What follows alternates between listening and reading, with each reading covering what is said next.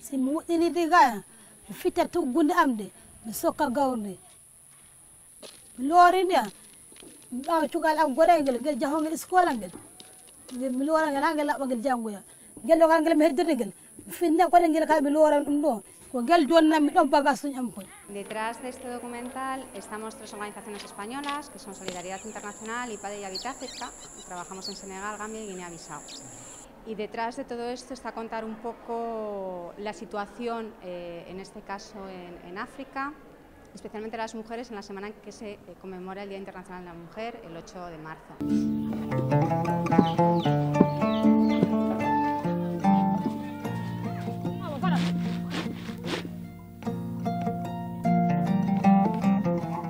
acercarnos lo máximo posible a sus vidas y a sus opiniones y cómo están in intentando ellas eh, producir esos cambios poco a poco, de manera muy sutil, porque vemos que es un contexto muy difícil, de muchas desigualdades. Nosotros nos preciamos de una cierta superioridad civilizatoria con respecto a, a las mujeres en el África.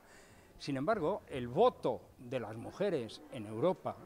es del siglo XX y en algunos países, como por ejemplo en Suiza, extraordinariamente civilizado, de 1974. Es decir, hasta 1974, en algunos cantones de Suiza, las mujeres no podían votar.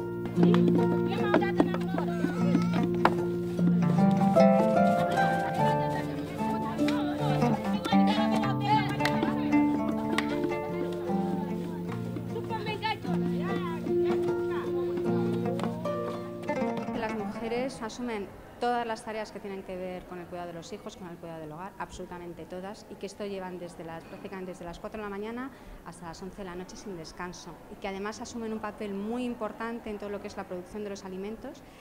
donde además con unas condiciones muy, extremadamente complicadas, donde a las mujeres se les niega el acceso a la tierra, cuando se la dan además esta tierra es la más alejada, la menos productiva,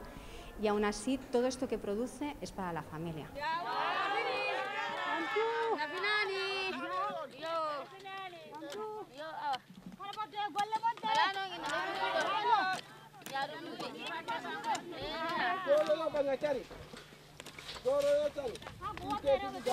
Hemos hablado con ellas de temas tan delicados y que a veces no llegamos a creer hasta que lo vemos, como puede ser eh, la ablación, que es bueno, pues un drama eh, total para las mujeres en cuanto a los derechos sexuales y reproductivos de ellas, o en la situación de poligamia, que no es más que una causa económica, social, religiosa, de toda una, una situación de pobreza ¿no? y desigualdad en, en, estas comunidades. Y son eh, derechos que ellas pierden y aún así eh, su lucha diaria por conseguir cambiar esas cosas y que no, si no ya ellas, eh, sus